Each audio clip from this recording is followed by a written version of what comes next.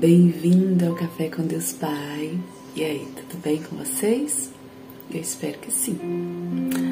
Graças a Deus eu estou bem, com sono. com o olho inchado de sono. Mas é um prazer estar aqui mais uma vez para nós juntos conversarmos um pouquinho sobre a palavra do Senhor, meditar um pouquinho, né? Maravilhoso.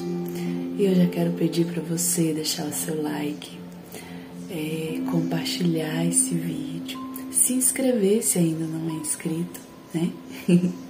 Deixe o seu comentário se você tem sido abençoado.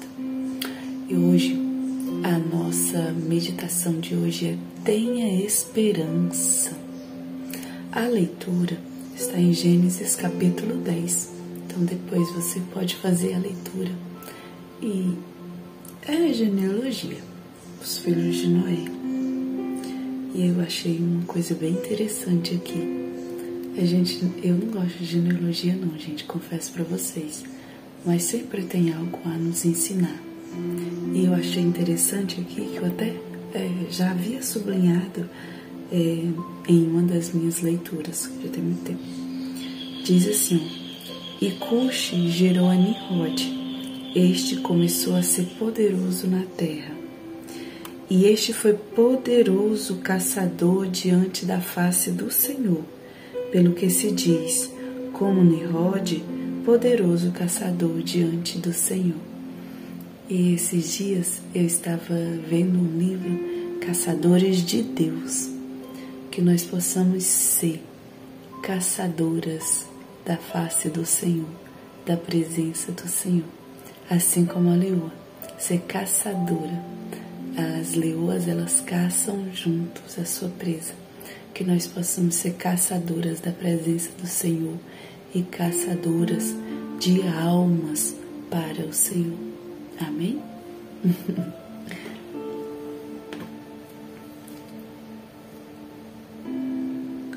Vamos para a leitura? Diz assim: A mão do Senhor estava sobre mim, e por seu espírito ele me levou a um vale cheio de ossos.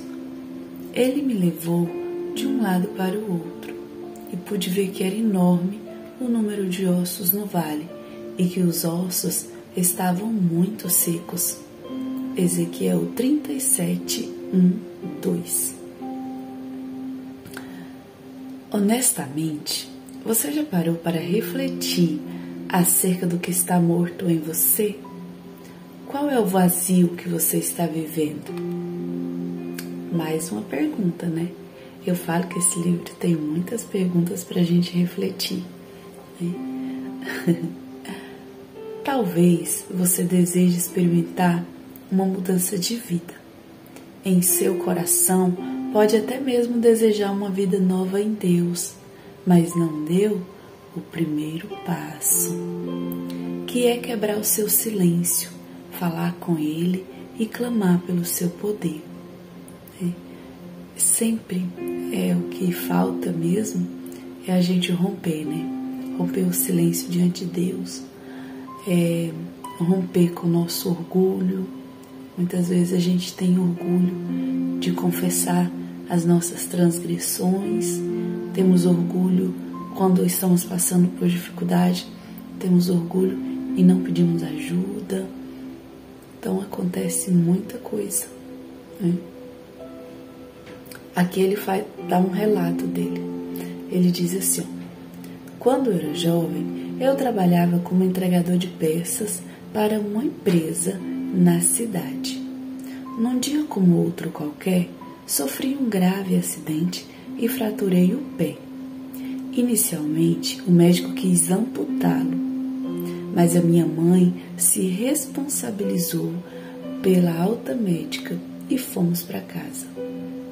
Procuramos outro profissional que disse: Vamos medicar por três dias. Após esse tempo, vamos reavaliar. Passados os três dias, voltamos ao médico que afirmou a vida no seu pé. Olha só.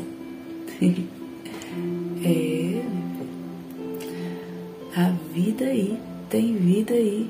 Tem uma canção, é Árvore Quebrada, né? Que fala que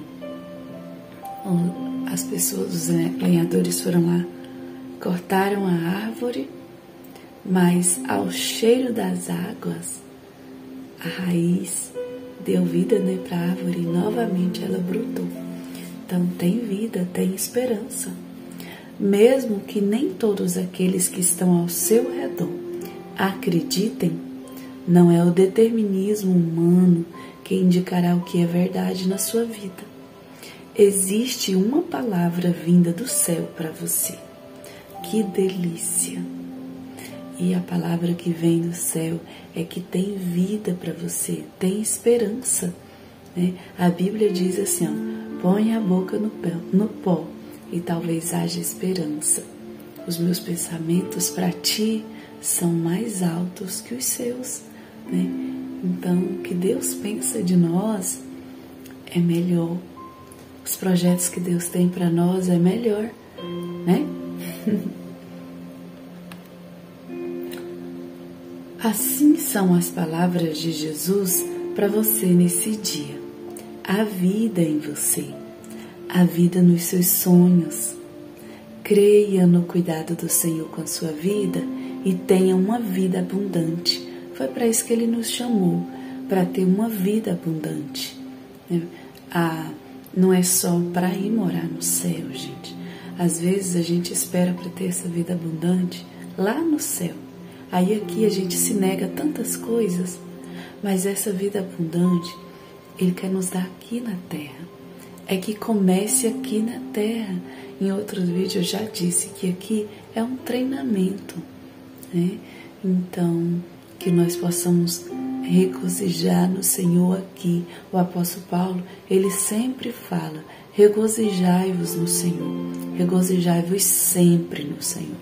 Tá difícil? Regozije. Tá passando dificuldade? Alegre-se no Senhor.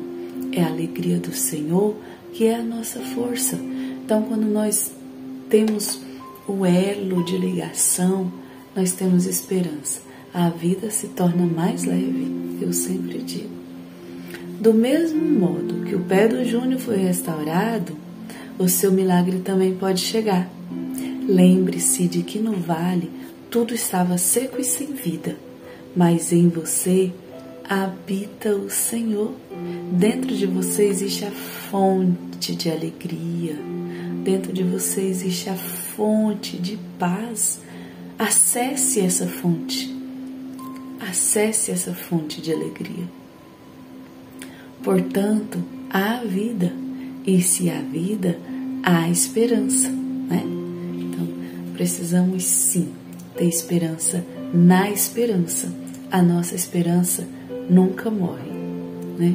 A nossa esperança Aliás, ela já morreu e ressuscitou, né? Na verdade, e agora ela vive. A nossa esperança vive e reina para sempre está assentado à direita de Deus Pai. Né? E é essa esperança que nos garante a vida eterna. É essa esperança que nos libertou das nossas aflições. É essa esperança que morreu lá na cruz e já nos justificou. Então essa esperança te torna livre, né? Ai, que coisa linda! Né? E a palavra-chave de hoje é inexplicável.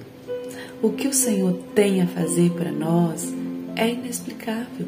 A Bíblia fala que olhos não viram, nem ouvidos ouviram, nem olhos viram, não chegou ao coração. O que a gente lê na palavra ainda é muito pouco, se comparado ao que nós iremos viver lá.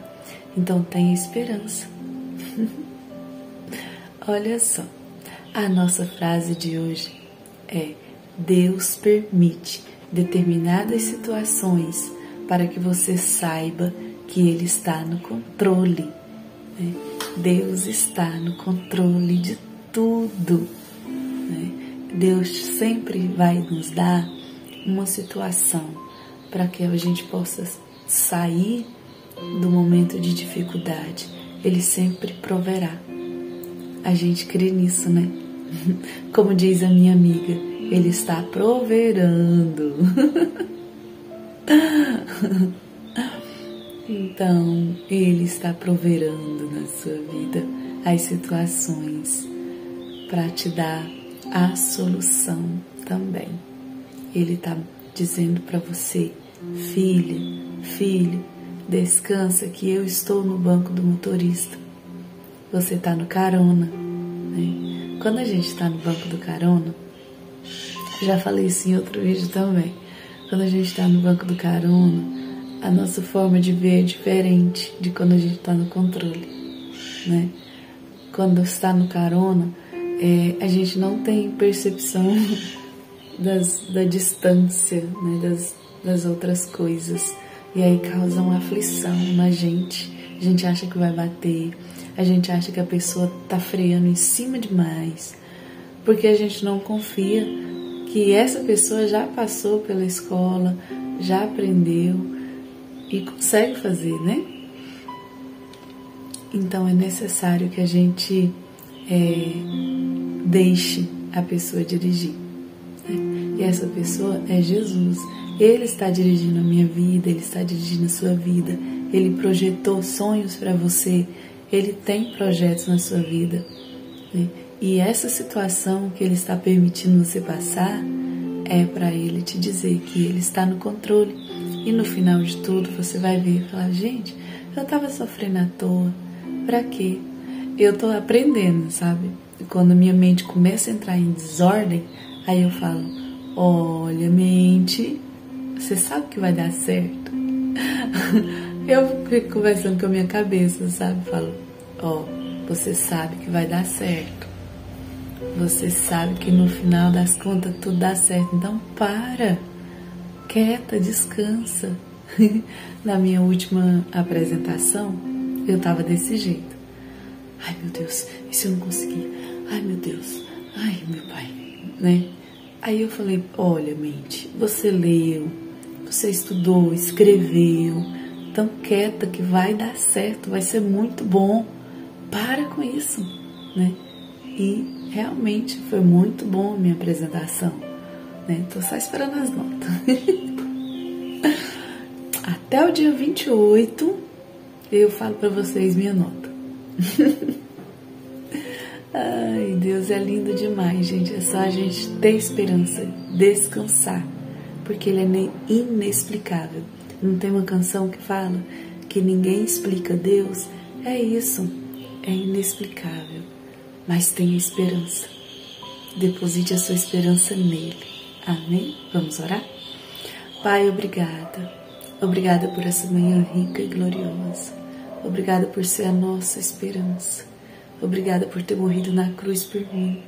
Obrigada por garantir os céus para mim. Obrigada por ser o meu pai, por ser o meu irmão, meu amigo. Obrigada por me preencher.